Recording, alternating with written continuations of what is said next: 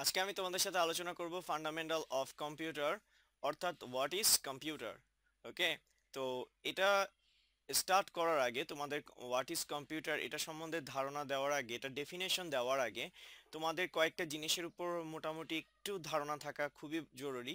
তা হচ্ছে, এই যে ইমেজটা তোমরা দেখতে পাইতেছো, এটাকে কি বলা হয়?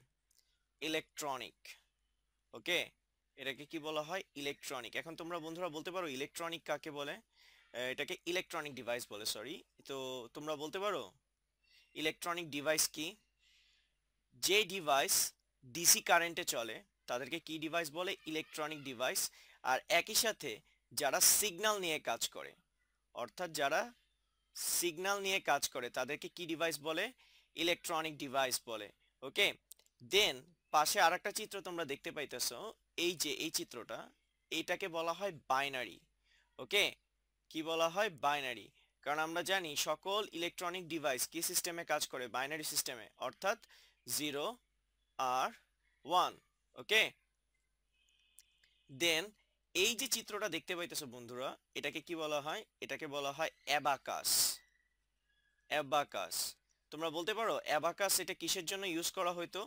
অ্যাবাকাস ইউজ করা হইতো অ্যাডিং এর জন্য। দেন সাবট্র্যাক্টের জন্য বা বিয়োগের জন্য দেন এটা ইউজ করা হইতো কাউন্টিং এর জন্য। ওকে আর এই অ্যাবাকাস এই যে অ্যাবাকাসটা যে দেখতেছো, এটার আবিষ্কার হয় হলো ব্যাবিলনে। কোথায় আবিষ্কার হয়? ব্যাবিলনে। আর এটাকে আমরা কি হিসাবে জানি? মেসো পটে মিয়া ওকে এখন তোমাদের কোশ্চেন হতে পারে, আমাদেরকে কম্পিউটার পড়াবে হোয়াট ইজ কম্পিউটার এটা সম্বন্ধে আমাদের ধারণা দিবে, কি বলতেছে ইলেকট্রনিক বাইনারি দেন অ্যাবাকাস এগুলা কি? আচ্ছা এগুলার পিছনে যথেষ্ট রিজন আছে যে কিসের জন্য আমি এগুলো তোমাদেরকে দেখাচ্ছি। তোমরা একটু ধৈর্য সহকারে খালি দেখো। সেটা হচ্ছে, এই যে আমরা অ্যাড সাবট্র্যাক্ট কাউন্টিং বলছি, এদেরকে এক কথায় কি বলা হয়? এদেরকে এক কথায় বলা হয় বন্ধুরা ক্যালকুলেশন ক্যালকুলেশন এখন আমি যদি কম্পিউটারের ডেফিনেশনটা তোমাদেরকে দিই, তাহলে তোমাদের কাছে জিনিসটা ক্লিয়ার হবে। সেটা হচ্ছে যে ইলেকট্রনিক ডিভাইস কি? যে ইলেকট্রনিক ডিভাইস কোন পদ্ধতিতে?